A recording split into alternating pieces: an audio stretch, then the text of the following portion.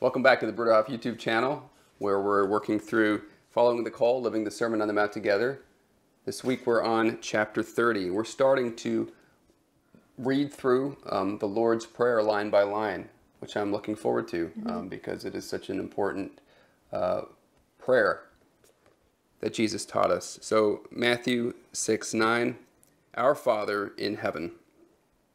So, this chapter is called Our Father, and it's really focused on what does it mean for us to call God Father. Um, maybe we start start by talking about what does the word Father bring to mind for each of us. Yeah, that's exactly what I thought when I was reading this chapter because, like, for me, when I think of my father, and I'm sure I'm not unique in this, it's just somebody that I kind of see as doing no wrong, a role model for me, and also somebody that I would just, the worst thing that I could possibly do is let down my dad or my father.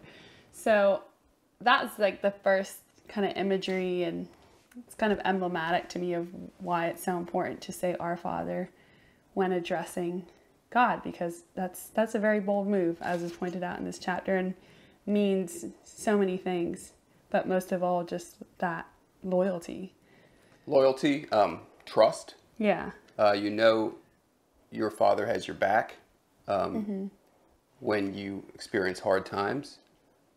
Also, um, I think you referred to this a sense of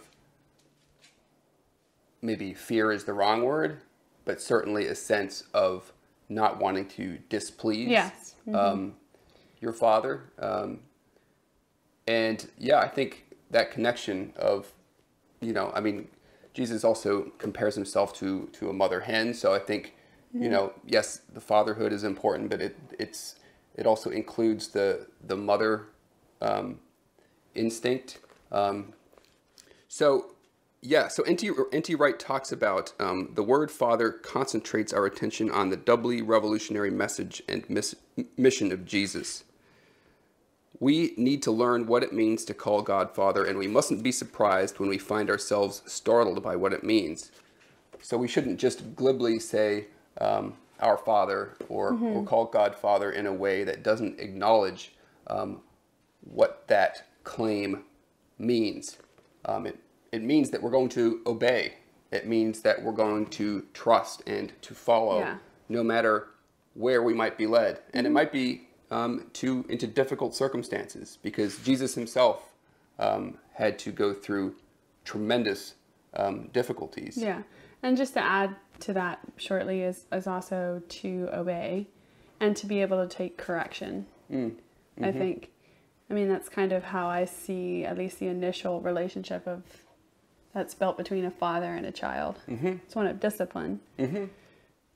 so Yeah, that's, that's- also like embodied in, in this passage here yeah I mean, speaking as someone with five children myself, I mean that's the first thing you need to establish, right? Yeah. Is is the authority um, that we are not on the same level. Um, I am your father, you are my child. That means you will do what I say, um, Mm-hmm. and you will not question that, even if it doesn't make sense even if it doesn't make sense to you at that time. okay good qualifier But there's other aspects to it. yes Um, trust. Um, he treats us, Hannah Whitall Smith writes, he treats us as sons, and all he asks in return is that we shall treat him as a father whom we can trust without anxiety. We must take the son's place of dependence and trust. Um, how many times in each of our lives have we had to depend on, you know, our biological father, um, and when he's in, con- you know, and trust that he's going to be in control. Yeah. And even further than that, I mean, just building on that thought, how as the father, he would not want us to shoulder the burden, the burden of his duties and, and, you know, the need of the world that he is carrying. And I think this also just puts into context some of those difficult social questions that we often struggle and grapple with. Like, how can we address global poverty and hunger? to to also at, in that moment when you're praying to realize that actually God has that in his hands and we're not the only ones concerning ourselves with the need of the world. I We mean, don't have to take the whole weight of the world. Yeah, I mean, obviously it doesn't like uh, you know we should be concerned and all that, but I just think do it's our part. important. Yeah, to lay that burden and understand that God sees it all. So Well, in a similar way that we care for our biological brothers and sisters, we know that ultimately our parents, you know, as we're growing up, we know that ultimately our parents are responsible for them, and we trust that they will um, do well by them. Right. Which leads us then to um, something I hadn't really thought that much of. But when we say um, our Father, that means that we have brothers and sisters, right? Yes. Who are not our biological brothers and sisters, Right. and who we need to esteem as brothers and sisters.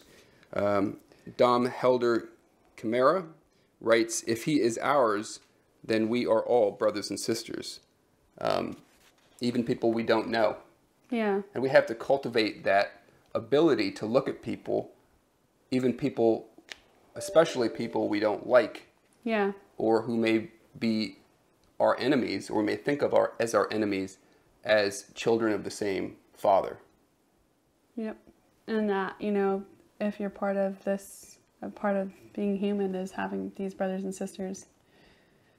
Mm-hmm. So, So that's a, um, there's a lot in just this one statement, um, our father. yeah. Uh, and then one of the authors also t- kind of touches on the second part of that phrase, our Father who is in heaven, mm-hmm. and what that means to be, you know, that's also reminding ourselves of the omnipotence of and all powerfulness of God in heaven, mm-hmm. which we've discussed, but I thought that was important to add. Yeah, that's that's what we will concern ourselves next week mm-hmm. um, as we proceed line by line through the Lord's Prayer. Uh, looking forward to doing that with you. We'll see you next week.